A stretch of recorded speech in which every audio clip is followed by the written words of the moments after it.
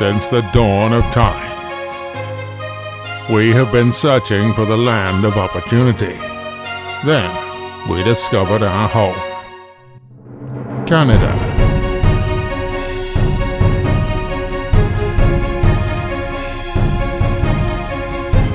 It's one of the happiest places in the world. Has a booming economy with a high job demand. A state of the art free healthcare system of some of the top universities in the world. And Canada has mountains and maple trees. Ready for your Canadian adventure? I'm sure you are. Apply for your Canadian visa with us. CanadianVisa.org. We make immigration simple.